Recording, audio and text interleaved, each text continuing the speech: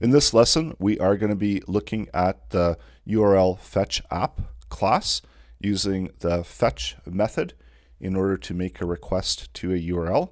So using the typical get request and then also how we can make a post request, creating data that we want to send to the endpoint, stringifying it, and then adding it as a payload, returning back the content as JSON. It's going to be returned back as text content that we parse back into a usable object format, take the response and create a spreadsheet, append a heading row, and then add that object information that's returned back from the endpoint and add it into the spreadsheet. So that's all coming up in this lesson. Log into your Google account, go to script.google.com, create a new project. Project that I'm going to be using is the example project, and we're going to be making a URL app post request to an endpoint, and the endpoint that I'm using is a testing endpoint, and this is at httpbin.org. So this gives you an opportunity to send a post, do a get with parameters, and get a response back from the endpoint. So making a connection using the fetch request, and then we're going to return back a response back from the endpoint. So going into the example, creating a function and I'm calling it sender1. So this is going to be our sender function. Add a URL that we're going to be sending the data to and the endpoint for the URL. So we're going to be making a first a GET request. So that's at the http bin.org forward slash get, and that's going to be the endpoint for the GET request. And then we'll retrieve back the response back from that endpoint when we're making the GET request to the endpoint. So we'll go ahead and we'll create the response object, use the URL fetch app service, and then the fetch in order to make the fetch request. Uh, fetch all, the difference between fetch and fetch all is fetch all will send multiple requests until all of the URLs are completed. In this case, we only just have the one URL. So we're making a fetch request to the URL, and we've already indicated the URL that we're making the request to. And then within the logger log we're going to get the response content back. And initially, this is just going to be the response object. So select the sender1 function from the dropdown. And what we see back is that we get the headers being returned back. And we want to actually get the response content back. So from the response object, we want to get the data that's returned back. And we can do that using the response object and then get the content data as content text. And let's output the data object into the log. So once again, we get the request and we get the request info object there. So that's going to be what's being returned back as the data object. So we want to create some data that we want to send over as options and parameters into the request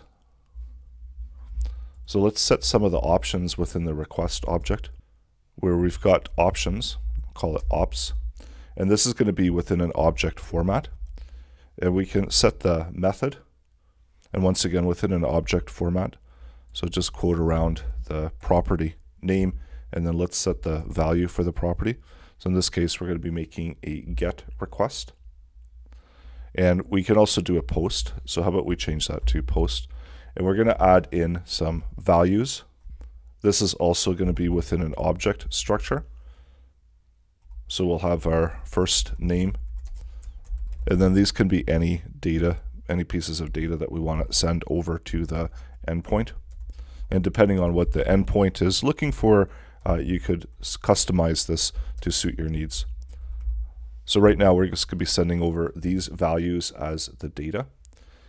And within the options for the request, set the content type. And the content type that we're going to be using is going to be a JSON. So application JSON. And we want to convert the object into a stringified format. So create the string version of the values. And this can be done using the JSON stringify method. So it's the same as what you see within JavaScript where we can convert an object into a string representation of that object And then we can also take a object-based string and return that into back into an object format. So we need to stringify it in order to send it over as the payload and then comma separate it. And this is going to be the data that's being sent over. So give it the property name of payload. And this is where we've got the string value string that we're sending over. And within the fetch request, we're going to be making a request. So we're no longer going over to get. We're going to be going to the post endpoint because we are making a post request. And within the second parameter there, add in the options object. And we're still going to the same URL. And we'll see what we get responded back from the endpoint. So run through, make the request. And we see that we've got the data that we've sent. And then over here is where we've got the JSON response value that's being returned back.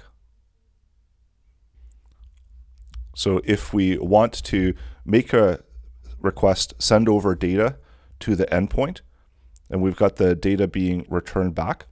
So let's convert this back into an object. So once again, let's make the request. And we can see that within the response back, we can get the JSON data. And this, because the endpoint is simply returning back the data back to us, let's see what we get for data JSON and do the request. So that returns back a null. And the reason for that is that we want to get the data and use it as an object format. So using the JSON parse, get the data and turn it into an object format. And then once it's within an object format, then we can return back the object data JSON data. And because it's within an object format, we can then output that information over into our Google script. In this case, what we're going to do is we're going to add that returned information and add it into a spreadsheet that we're going to be creating. So go ahead and create a sheet object using the spreadsheet app and then the create method. Give it a name and I'll just call it JSON. And so this is going to create a sheet within the root of my drive. And I want to get the JSON data object and then using a sheet we're going to append a row of data into it. And the row of data is going to have the object and then JSON object. And within the values, we've got the property names. So we've got first, last, and ID. So we can use those, adding them in as items within the array and selecting last and then selecting the ID is the last one there that we're sending over. And also, let's create a row for the heading. So do an append row. And this is just going to be for the heading information. So for the first row or first column, it's going to be first name, and then the last name, and then the ID value. So this will create two rows within the spreadsheet. And that's going to be generated directly within the Google Drive. So go ahead and we'll make a request. So we've got the data that's returned back from the endpoint. And then going into the drive, there's our new file that was just created with the data that was retrieved back from the endpoint. So what we did is we made a request to the endpoint, sent the data, and then retrieved the data back. And that's how you can use the URL fetch app in order to make a request, a fetch request that makes a request to a URL.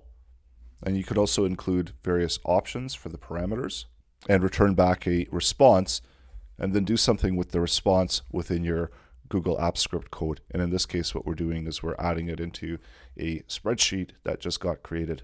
So go ahead and try it out, and you can use the HTTP bin org, or you can use your own endpoint to make the requests to.